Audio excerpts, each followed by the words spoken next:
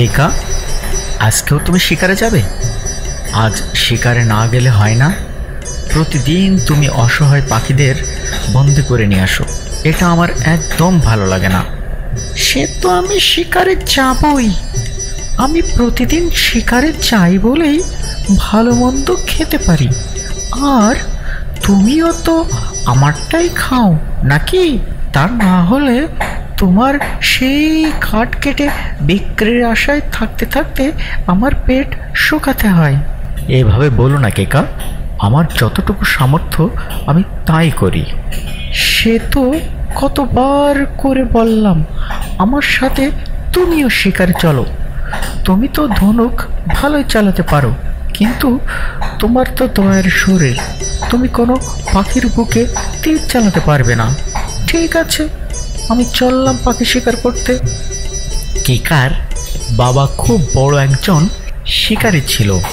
কেকা ছোটবেলা থেকেই ওর বাবার শিকার দেখে দেখে বড় হয়েছে আর নিজেও শিকারী হয়ে উঠেছে। কৃষকের সাথে বিয়ে হবার পরেও কেকা শিকার বাদ দেয়নি, সে প্রতিদিন শিকার করত।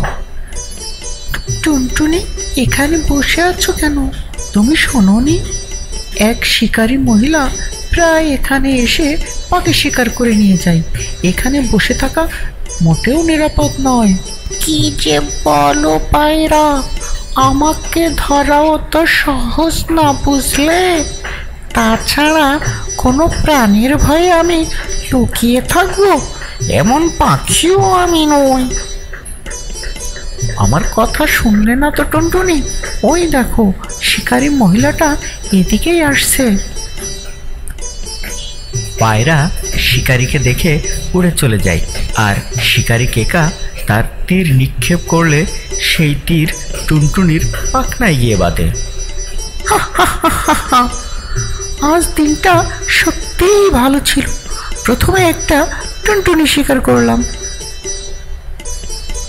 আমাকে ছেড়ে দাও আমাকে ছেড়ে দাও। কি সুন্দর কথা। আমাকে ছেড়ে দাও। আমি কি তোকে ছেড়ে দেওয়ার জন্য ধরেছি? কেকা টুনটুনিকে ধরে একটা খাঁচার মধ্যে রেখে দেয় আর সে এক এক করে বেশ কিছু পাখি শিকার করে বাড়ি ফিরে যায়। খাঁচায় বন্দি পাখিরা একে অপরের সাথে সুখ দুঃখের কথা বলতে থাকে। তখন টুনি বলে টিয়ে বোন জানো পায়রা বোন বলেছিল ওই শিকারের কথা তখন আমি গুরুত্ব দেইনি। আর এখন দেখো আমি খাঁচাই বন্দি। তখন টিয়া বলল আমি ভাবছি আমাদের কি কেউ রক্ষা করবে না? আমাদের কি আর রক্ষে নেই? আমাদের মনে হয় বিক্রি করে দেবে। আচ্ছা আমাদের কি বাঁচার কোনো উপায় নেই? আমার ছানারা তো আমার জন্য বাসায় অপেক্ষা করছে। বাচ্চারা আমার জন্য না জানি না খেয়ে বসে আছে। আমিও তো আমার ছানাদের জন্য খাবার নিয়ে ফিরছিলাম। ঠিক তখন মহিলাটি আমাকে ধরে নিল। টুনি, টিয়া, চড়ুই, সবাই সুখ দুঃখের কথা বলছিল আর কান্না করছিল। কাঠুরেও ওইসব পাখিদের কান্না শুনে খুব কষ্ট পায়। তখন কাঠুরে বলে, হয় আল্লাহ, এই নিষ্পাপ পাখিদেরও কান্না আমি আর সহ্য করতে পারছি না। এমন কি কোনো উপায় নেই যার দ্বারা আমার স্ত্রীকে এই পাপ কাজ থেকে দূরে রাখতে পারি? ঠিক তখন সেখানে শিকারী কেকা আসে আর বলে, আবারও বোকাদের মতো কাঁদতে শুরু করেছ? সেই তো সারাদিন দু চারটা ডালপালা কাটো, সেই কাজটাও ঠিক মতন করতে পারো না। তুমি কি বোঝো না কেকা, এই অসহায় পাখিদের মেরে ওদের শিকার করে তুমি তোমার পাপের বোঝা বাড়াচ্ছ? এই কাজটা কি বন্ধ করা যায় না? তোমার লোভ কি কখনোই কমবে না? যাই যাই তো তবে একটা ব্যাপার আছে। কি ব্যাপার বলো? যদি আমি কোনো সোনার ডিম পাড়া পাখি পাই তাহলে সেই দিন আমি শিকার করা বন্ধ করে দেব আর লোভ করাও বাদ দিয়ে দেব। এটা তুমি কি বলছো? এটা আবার হয় নাকি? বেশ তো এটা যখন হবেই না তখন আমি পাখি শিকার করাও বাদ দেবো না। কেকা এই বলেই রাগ দেখিয়ে জঙ্গলে চলে যায় আর পাখি শিকার করার জন্য পাখি খুঁজতে থাকে। কিন্তু সেদিন কোনো পাখিই খুঁজে পায় না। ধুর আজ সারাদিন ঘুরেও একটা পাখি পেলাম না। আজ কাঠুরের কান্না দেখে বেরিয়েছিলাম। তাই মনে হয় দিনটা মাটি হলো। কেকা কোনো পাখি না পেয়ে মন খারাপ করে বাড়ি ফিরছিল। আর ঠিক তখন একটি সুখ পাখি এসে কেকার কাঁধের উপরে বসে। আরে এই পাখি কোথা থেকে এলো? তাও আবার আমার পিঠে এসে বসল? যাই হোক নিচ থেকেই যখন এসেছ তখন চলো একে বাড়ি নিয়ে যাই। দেখতেও তো সুন্দর। কাল চড়া দামে বাজারে বিক্রি করা যাবে। কেকা সেই সুখ পাখিকে নিয়ে বাড়ি ফিরে গেল। সুখ পাখিকেও একটা খাঁচায় বন্দি করে রাখল। আজকেও একটা সুন্দর পাখি ধরে নিয়ে এসেছ কেকা?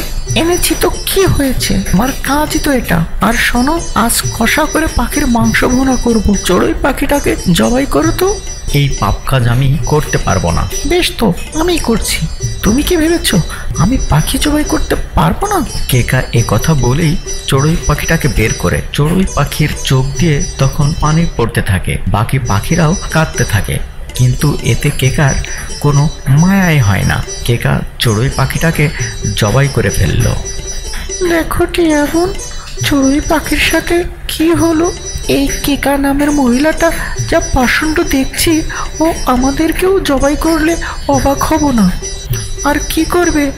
টুনটুনি টুনটুনি বোন, আমাদেরও কপালে এমনটাই লেখা ছিল। ভেবো না, আমি তোমাদের ছেড়ে দেব। তুমি আমাদের ছেড়ে দেবে? কিন্তু কীভাবে? তুমি তো নিজেই বন্দি হয়ে আছো। কিন্তু আমি তোমাদেরকেও ছেড়ে দিতে পারব। আমি তো বুঝতে পারিনি, শিকারি কেকা হুট করে চুই পাখিটাকে খেতে চাইবে। না হলে ওকেও বাঁচিয়ে দিতাম। সুখ পাখি কথা বলেই তার মায়ের শক্তি দিয়ে টুনটুনি আর টিয়ার খাঁচার দরজা খুলে দিল। এতে করে টুনটুনি আর টিয়া মুক্ত হয়ে গেল। চুপ পাখি তুমি আমাদের সাথেই চলো। না তা হয় না টিয়া পাখি আমি যেতে পারি না। তোমরা যাও আমাকে নিয়ে দেবো না। টুনটুনি আর টিয়ে পড়ে চলে যায় আর পরের দিন সকালে সুখ পাখিটা একটা সোনার ডিম পাড়ে আর কেকা সকালে উঠে এসেই সেই সোনার ডিম দেখে। আরে আরে এটা আমি কি দেখছি? আমি স্বপ্ন দেখছি না তো। না না এটা বুঝি স্বপ্নই হবে। ততক্ষণে কাঠুরেও সেখানে চলে আসে আর সে সোনার ডিম দেখে আরে, এ তো দেখছি সোনার ডিম। আমি যা দেখছি, তুমিও তাই দেখছ। ওটা সোনার ডিম? হ্যাঁ কাকা, এটা তো সোনার ডিম। তুমি বলেছিলে না, সোনার ডিম পাড়া পাখি পেলে লোভ আর শিকার করা দুটোই ছেড়ে দেবে? তাই উপরাল্লাহ তোমাকে একটা সুযোগ দিয়েছে। আরে কাঠুরে, আমার ভাগ্য খুলে গেছে। আমি তো বড় লোক হয়ে যাব। কি যে বলো না, সোনার ডিম পাড়া পাখি পেয়ে গেছি। এরপরে আমি শিকার করব, এটা কখনো হতে পারে? এইভাবে সুখ পাখি প্রতিদিন একটা করে ডিম পাড়তে লাগল, আর কেকা সেই ডিম বিক্রি করে অনেক টাকা পেতে থাকল। একদিন কেকা ভাবতে লাগল, আরে ধুর, এই পাখিটা প্রতিদিন একটা করে ডিম দেয় কেন বুঝি না? একসাথে ওর পেট থেকে সব ডিম বের করে দিত তাহলে আমি একসাথে অনেকগুলো টাকা পেতাম। শহরে একটা বাড়ি ও গাড়ি কিনতে পারতাম। কি ব্যাপার কেকা? কি ভাবছ তুমি? আমার ভিতরে কি চলছে এটা কাঠুরেকে জানানো যাবে না। জানালে সর্বনাশ হয়ে যাবে। কাঠুরে জানলে আমার পরিকল্পনা সত্যি হতে দেবে না। একদিন কেকা অনেকগুলো সোনার ডিম পাওয়ার লোভে সুখ পাখিটাকে ধরে জবাই করে আর সুখ পাখির পেট কেটে ফেলে। কিন্তু সে সুখ পাখির পেট কেটে একটি ডিমও পায় না। এ কি? এটা আমার সাথে কি হলো? আমার সোনার ডিম? আমার সোনার ডিম কোথায় গেল? কেকা মৃত সুখ পাখিটাকে নিয়ে কাঁদতে লাগল। আর হুট করে কেকার দুহাত পঙ্গু হয়ে গেল কোনো নড়াচড়াই করতে পারছিল না। আরে এ কি? আমার হাতের কি হলো? কেকা ওর হাত নিয়ে কাঁদছিল। তখন ওই মৃত সুখ পাখিটি একটি সুন্দর পরিতে রূপান্তরিত হলো আর এটা দেখে কেকা ভয় পেয়ে গেল। আরে এ কি? আমার হাতের কি হলো? কেকা তুমি আজ তোমার পাপ আর লোভের শাস্তি পেয়েছ। তুমি বলেছিলে, সোনার ডিম পাড়া পাখি পেলে তুমি লোভ আর শিকার দুটোই বাদ দিয়ে দেবে। কিন্তু তুমি তোমার লোভ করা ছাড়োনি। তুমি সুখ পাখিকে মেরে ফেলেছ। আমাকে মাফ করে দাও পরি, আমি না জেনে বুঝে ভুল করে ফেলেছি। তুমি অনেক নিরীহ পাখিকে নির্বিচারে শিকার করেছ। আর সেই শাস্তি তো তোমাকে পেতেই হবে। তুমি যে হাত দিয়ে শিকার করতে, সে হাত তোমার অকেজ হয়ে গেছে। এভাবে এখন তোমাকে এই দিন কাটাতে হবে।